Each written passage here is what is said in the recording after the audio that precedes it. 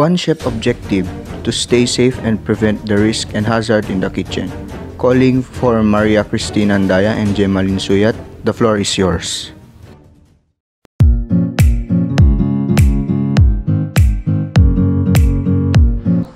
Let's talk about the recent hazards in the kitchen. Many injuries like simple cuts, burns, strips, and minor injuries. It is possible to work in the kitchen without ever getting injured.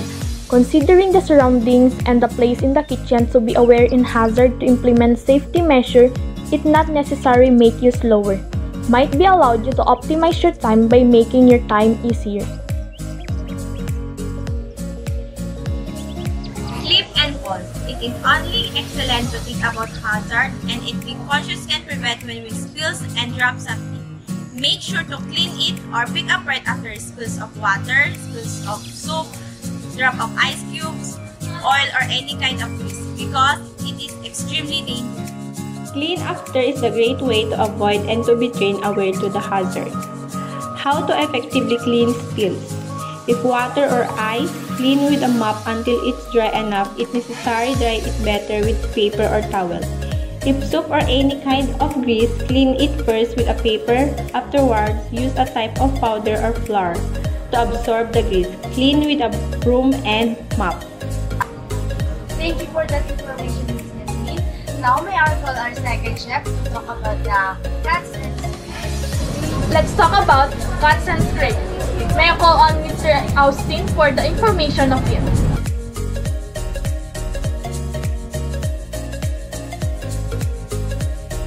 Cuts and scrapes. The knife using job is an obvious hazard when handling knife to cut food to store them, to sharpen or even to clean them.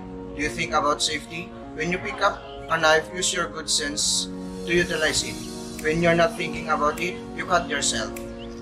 What to do to prevent cuts and scrapes? Be always attentive about where is the knives. Don't play around sharp objects. Always use safe hand position when using knife. Be careful when cleaning a knife. Make sure to that the blade point in away from you.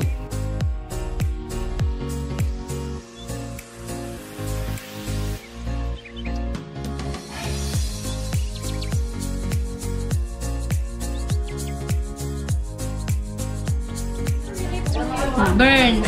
It's really easy to burn the kitchen. There are lots of hazards that can cause severe burn, such as hot grill and coffee or tea pots, etc. Water and grease don't mix. Don't ever try to put fire that involve water and grease. Use water extinguisher or towel to load the fire. Handling, carrying, and lifting, it is critical to know how to pick up heavy objects.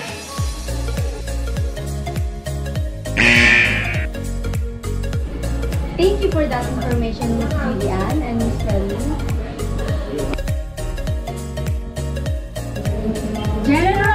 Know where the fire extinguishers are located. Maintain your workplace clean and organize your flammable and compatible material lab safety cabinet. Know where the exit and make sure it's not locked. Safety awareness is really the key to safety and to report impossible hazards and making something to correct. I am Gemalin Suyat and I'm Maria Cristina Anday. That's all the information about the risk and hazard in the kitchen. Thank you!